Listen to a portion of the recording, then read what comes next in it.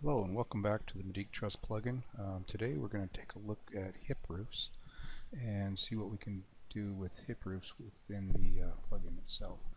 Uh, this is a fairly new feature so um, it's still under development and it's still missing a number of advanced options but I think uh, we have enough uh, and got a good enough running start here that we can actually uh, do some fairly substantial work with it. So First off, I'm just going to show you kind of what we, uh, some basic configurations that are possible. Then I'll, I'll go ahead and actually use it to recreate these. But um, this here is a pyramid hip roof. So basically both sides are 22 feet in length.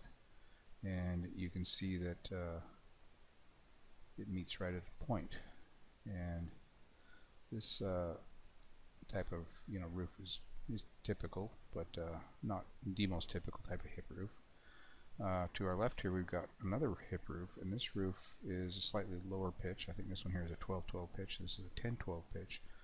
But uh, you can see this one here has a ridge board, and this uh, ridge board is a 2x12 uh, member, and then these rafters, the common rafters, and actually all the rafters, including the ridge rafters, are 2x8 uh, members. So So there's two basic hip roofs that can be easily created with the plugin. And then over here I'm going to show you how we can start generating complex roofs with the plugin. And you can see it, I haven't finished trimming out completely you know, all the members that need to be trimmed, but uh, I've kind of made a start here just to kind of show you the general uh, shape of the roof and kind of the overall layout of it. And, and that's kind of the thing I think you can do right now with the plugin with Complex Roof is you can get the basic planes of the roof and you can generate the shapes. And then, you know, it takes a little time, of course, to trim all these members back and, and move a few valley um, rafters into place. But uh, it's usually not too bad. And typically with valley rafters, I'm going to just show you this real quick here before I move on. Um, so what I like to do actually is I'll say, okay, I've got this and I don't know if this is exactly correct or not from a framing standpoint, but uh, what I like to do is grab this hip rafter here and then just uh, use the copy button and come down here and just pick any point, doesn't matter where. And uh, actually, let me try that one more time. I've got to hit the control key first to actually like copy it, not just. And then I just move it over four feet. And there you go. There's our valley our valley rafter and then we can trim these back to meet that valley rafter in the valley there. So anyways, but let's uh, let's go back now to the uh, to this guy right here. So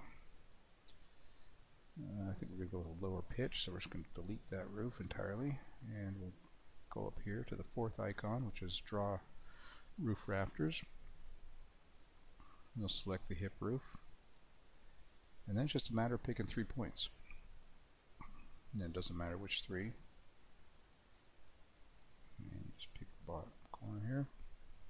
And by the way, it doesn't have to be that back corner. It can be anywhere along that edge. And it'll do the same thing. So let's take a look at our options. Uh, we've got the roof pitch, of course, and that will be the same pitch on both all faces. Uh, so let's go, well, perhaps a lower pitch. We'll just try that just to look. And then uh, overhang's fine. You can see you can set the overhang, and that will be the overhang all the way around. And the rafter depth, same thing again. All the rafters will be that same depth. Let's use a 2 by 8 member, of course, and the ra rafter width. And the ridge board depth. So a lot, a lot of options here you can play with, but uh, let's leave it the same. Um, the ceiling joist option is kind of an advanced option and we are I'm still working on that one. So right now if you select that it won't actually do anything but uh, here probably in the next few weeks I'll have the ceiling joist option available to use. And that also goes for the uh, advanced roof options. Right now it won't draw the fascia board all the way around and, and or the sheeting on top but that will be the next step. So as you can see, you can always adjust um, the building length and you know you can always it's it's taking the the points that you are selected, but you can always after the fact adjust that if if you need to. And then the rafter spacing is 24 inches on center. Again, you can you can change that and play with that as much as you like. So we just get OK, and there you go. There's your rafter roof, pyramid actually, uh, pyramid hip roof. Sorry. and now let's take a look at the components that it creates. So it's one big group, of course, and then if you click in, you can see that we have, and let's bring in the uh, entity info. You can see that we have eight of these uh, jack rafter components here in the assembly. So if you actually click into this, you will see that they are duplicated mirrored. So there's actually eight of them. There's one, two, three, four, five, six, seven, eight. So they're all the same. Now if you need to trim one back and leave the other same, of course it's simple enough just to make make one of those unique. And then of course same goes here for the uh, hip rafters. There's four there's only one definition, but there's four of these components. Okay, and so that's kind of how we're organizing the layout of the hip hip roof. okay, and then same thing here. So let's go ahead. Let's just delete this guy and start over. Simple enough to do. And we go ahead to the hip roof. Select your corners. I'm just going to show you how I'm going to select the edge on the back. And uh, let's go with uh, 12 12 pitch.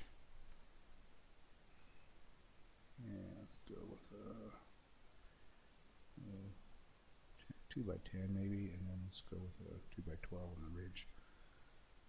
and of course the bird bird's mouth cut you can adjust as well. Let's do just a three and a half just to show you the difference. And okay, we're not going to mess with that. Actually, let's go with a 16 inch on center and see how that looks. Okay, so that's 16 inches on center. That's a three and a half inch bird's mouth cut with a 2 by 10 rafter and a 2 by 12 ridge board. And that's uh, that's a hip roof. and the interesting to note is, interesting thing here is these roof planes are, you know, I, I, I spent a lot of time to make sure that we're getting these things exact. So if you actually spend some time and compare these roof lines, like this, this line here and this line here, if you were, you know, to draw the, the roof plane in, you will find that this line and this line are perfectly on that plane, and the same goes for this line and this line and this line. And, and then they all meet at a point right there, you know, above uh, uh, I can't zoom in on that very well, but anyways, you, they all meet, you know, they meet there at the apex there, right above, in the center of that, uh, of that point right there. Yeah, about right there. So, anyways, uh, just kind of just a good understanding of what's happening with these hip roofs. So now we get to complex hip roofs. So at this point, you know, I don't really have an automated way of handling it other than I can you know create the rectangular primitives I call it and so that's generally what I'm doing here and I'm going to show you how to how I do that really quickly here.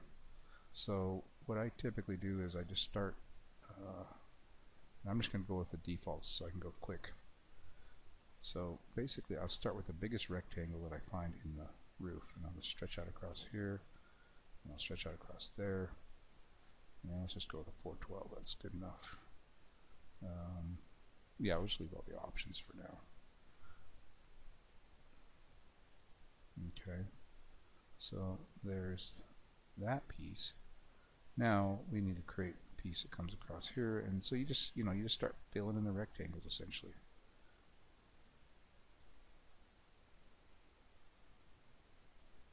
And you know you can pull it back as far as you want or not.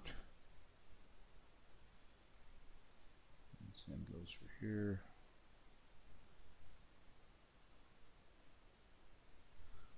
Quicker way of firing off this plugin, but now this will work.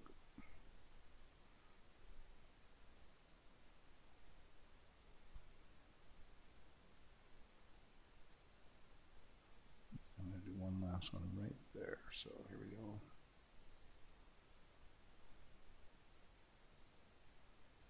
And by the way, it doesn't matter if you click the wide side first and then the short leg of the roof because the plugin is smart enough to determine uh, you know which side is longer and then it will draw accordingly.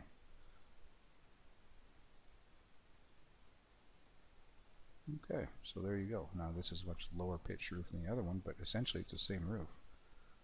Um, done exactly the same thing over here, except this side I've, with this one over here, I've trimmed out some of the uh, extraneous members, and that's what needs to happen here, obviously.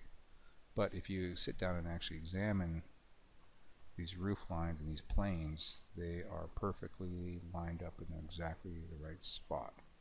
I mean, you can see right there that member's coming straight down across that other ridge and everything just lines up nicely so I mean even if we can't do complex roofs yet um, we can at least get the uh, overall shape of the roof and all the roof planes figured out with this plugin but uh, I think what's going to have to happen is I'll have to uh, you know design some logic that will allow us to automatically you know trim back the, the hip roofs to match to the other segments that are already created or, or something to that effect. I've got to I've got to work through that.